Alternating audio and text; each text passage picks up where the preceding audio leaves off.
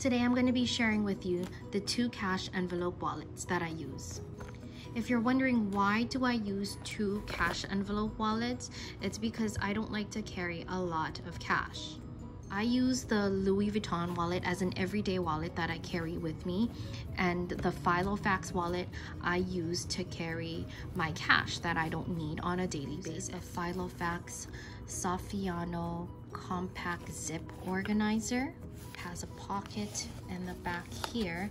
It's pretty tight. You can probably shove in some um, receipts. It has a zip closure and it's pretty easy to open up.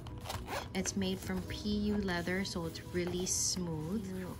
When you open it up you'll notice that it has six rings it holds a lot of cards. So in here it'll hold six cards and it has a pen holder here. Um, it also has a pocket behind the card holders. And it also has a zipper pocket that you can put coins in. In front of the zipper pocket, it also has another big, huge pocket.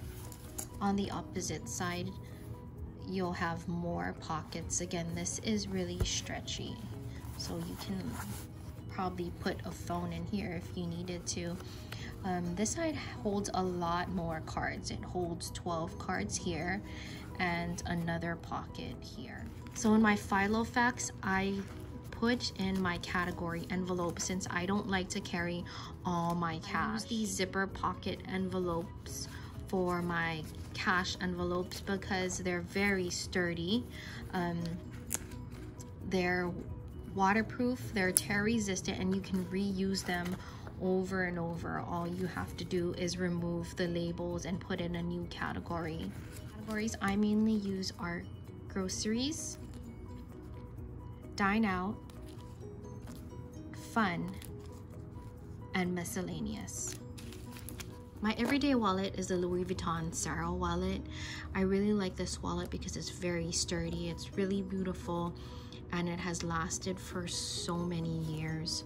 Um, on the back of the wallet, it has a little pocket. It's really tight. You can't really put a lot of things in the back here. The front has a studded clasp used to open and close it when you open it up in the front you'll see that it has four uh, card slots on the inside it has two big compartments that you can fit a lot of things in. Um, in the front compartment, you can fit six cards and also the back compartment, you're able to hold six cards as well. It has a zipper pocket to put in your coins.